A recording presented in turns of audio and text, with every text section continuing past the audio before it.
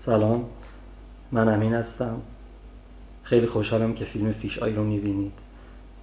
فیش آی حاصل زحمت سازنده هاشه. کسایی که خیلی خوشحالم از اینکه در کنارم بودن.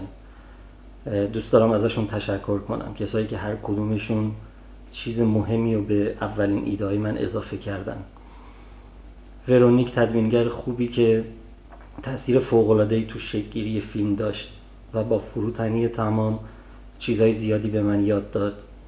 عباس که زمان زیادی و کنار من نشست و با هم دیگه صدای فیلم رو ساختیم در واقع برای هر دومون اولین تجربه بود که یه فیلم رو صدا گذاری کنیم.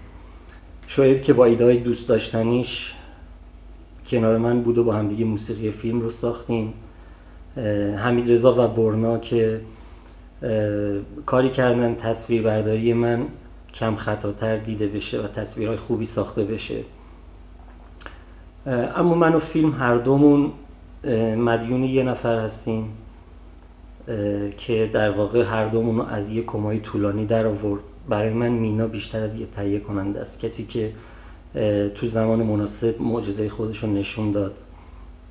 و در واقع فیلم فیش آی فارغ از خوب یا بد بودنش موجودیتش رو مدیون تهیه کننده خوبشه. خیلی خوشحالم که این فیلم رو می‌بینید. هرچند بدون سالن تاریک و بزرگ و بلندگوهای فوقلاده سینما و مخاطبایی که از نزدیک فیلم رو می‌بینن جشنواره معنی همیشگیشو نداشته باشه. اما احساس می‌کنم که تو این دوران سخت که همه مردم دنیا مشاغلشون و زندگیشون و کسب و کارشون تحت تاثیر ویروس کرونا فلج شده من جز اون آدمای خوشبختی هستم که این امکانو دارم که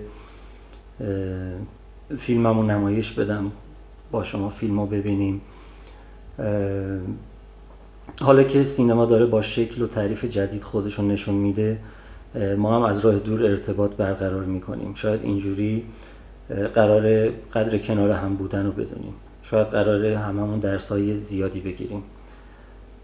واقعا خیلی خوشحالم که فیلم رو می‌بینید. امیدوارم لذت ببرید. متشکرم.